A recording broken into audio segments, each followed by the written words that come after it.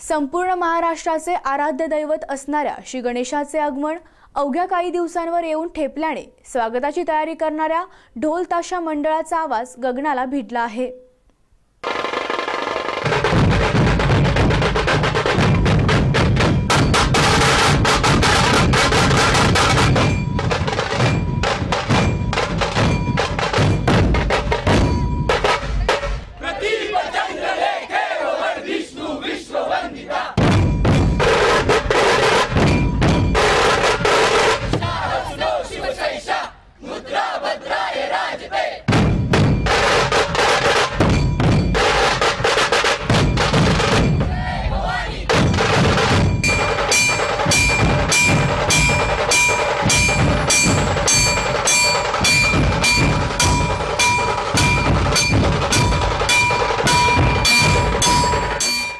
पारंपरिक वाद्य असणाऱ्या ढोल ताशाच्या निनादात गणेशाचे स्वागत करण्यासाठी भक्तांबरोबरच ढोल ताशा मंडळे सज्ज झाली आहेत.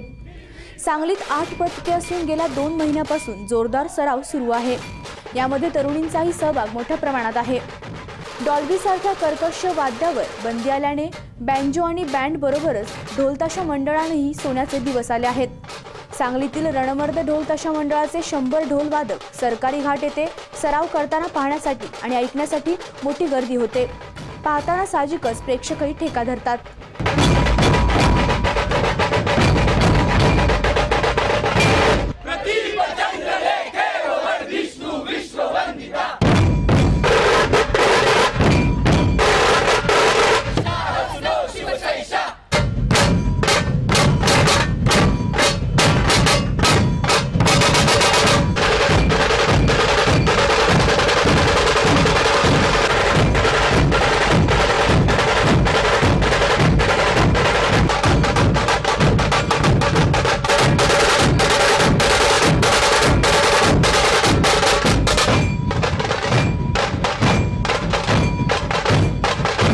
गेल्या तीन वर्ष झालं मी या पथकात आहे.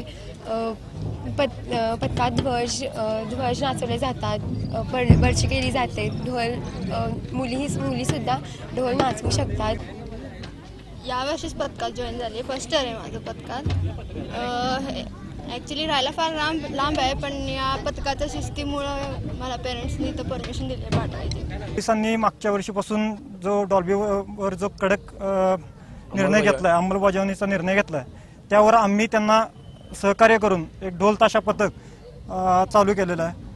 त्यासाठी आमच्या पथकात जवळजवळ आता एकशे ऐंशी मुलांचा सहभाग आहे. त्यामध्ये आम्ही व्यसनमुक्ती बाकीचे सामाजिक कार्य ढोल ताशा पथकातून आम्ही समाजासमोर मांडण्याचा प्रयत्न करतोय. गोल्डन म- मंडळातर्फे रणमार्द हा ढोल पथक ताशा पाच वर्षापूर्वी चालू केलेला आहे. समाजात नवीन नवीन उपक्रम असताना आम्ही जुन्या उपक्रमांना डॉल्बीला फाटा देऊन काय नवीन उपक्रम राबवत आहोत. ह्याच्यात एकशे ऐंशी पोरपुरी हे सहभागी आहेत. आणि समाजात नवीन काम करून हे नवीन डॉल्बी प पथक जे आहे पोलिसांचे बंदी घाटलेले आहे गेल्या वर्षीपासून त्याला पो पोलिसांना प्रोत्साहन देऊन हा डॉल्बी पथक आम्ही चा रणमर्द हे चालू केलेलं आहे ढोल ताशा पथक.